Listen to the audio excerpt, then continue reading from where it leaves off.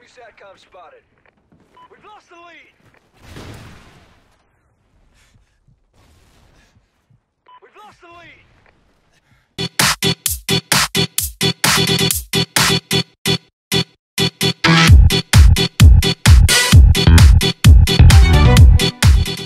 What's up guys, it's Hudson here from Hudson's Tech and welcome to another video. Hopefully you guys enjoyed that uh, intro clip. Um, that should not have happened, but um, it was sweet, so I'm going to take it. And um, hopefully you guys enjoyed it. If you did, give it a thumbs up because, uh, yeah, it's awesome and it helps me out. Um, so this game, uh, I want to explain myself real quick before you guys are like, Hudson, you suck. What are you uploading? Uh, this is awful. Well, that's the kind of, that was the idea behind this video is and, I, and it's not like I was, was trying to achieve that, but this is just an average game.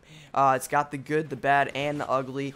Uh, of course, you go on a little bit of a streak, you get killed by off your spawn, and there's also, you know, some cool shots maybe in there somewhere. Um, but that's that's the average game, right? I mean, you get something cool. Um, it's it's decent. You don't go, you know, higher than a 2 KD or whatever and that's kind of that's that's what I wanted this video to be and that's why I'm uploading it. So um, and that's also why it's the title of the video but hopefully you guys kind of understand where I'm coming from. And I just kind of wanted to talk to you guys about a few things as well. Um, but that's the main idea. Before you're like Hudson you, you suck. But this guy right off my spawn he's right behind me which is absolutely ridiculous. And there's your ugly uh, for this video. There's a couple other ones but that was the main one. I, I couldn't even understand that. Um, I mean, the maps are huge, and the fact that a guy spawns, or like I spawn while there's someone running, to, I just, whatever. And then I meant to jump to the right, but I climbed over a thing, so pff, whatever. But um, anyways, I love sniping in this game, and um, I really, really do. I think it's a lot of fun. Um, it looks beautiful also, and um, the, the dual render is just the coolest thing. So I'm a huge fan of it, and that's why I've been doing it quite quite a bit here. Um, I, it's only it's my first upload of it, but um, I thought that you guys might enjoy it, so that's also why this video is going up. Is it's not like a Honey Badger KEM or whatever, which I already have. If you want to see a KEM strike, um, check out. It, I think it's in one of my like. Um, it'll show up sometime in this video, but if you want to go to my channel and check it out, that'd be cool. Um, I thought that was pretty good. So, but yeah, and then I'm just just goofing off. I mean, there's this guy. I thought I could no scope him, couldn't. Then I get boom, boom, and a third one. I'm a pussy. I pulled out my uh, P226. Sorry, I'm not a FaZe sniper, so I couldn't, you know, get that last one. Plus, I was out of ammo. But, um, anyways, I thought that was kind of funny also. And and I like I was saying, like I, I love sniping. It, it feels so good. It looks so good. Um, it's just like an overall enjoyable experience. Um, and to some extent, Infinity Ward was correct when they said you can't really quickscope just because it's inconsistent. But also to an extent, eh, that's very wrong because you see someone like uh, Pamaj or you know another good sniper. Uh, he's the only one I can really think of um, who who can consistently snipe, and so I'm not that guy. But I still have fun doing it, and um, and I just uh, I don't know. That's kind of my thoughts on it. It's not like a a game where you can black scope. Um, really, you, you kind of have to zoom in all the way, and then there's lag, and then this is awesome. I can't even, like, please tell me how that works. Please, because if I could get that intro clip that you guys saw, and not that, I don't know. I don't know about this game. Uh, there's there's some stuff that's got to be kinked out, but yeah, so it's very inconsistent, like like you just saw, and and I'm not really sure how the, the coding works or how the game mechanics are or whatever. Um, but as long as you match up your crosshairs, you know, 9 out of 10 times you're going to get that shot. 9 out of 10 times you won't get a hit marker.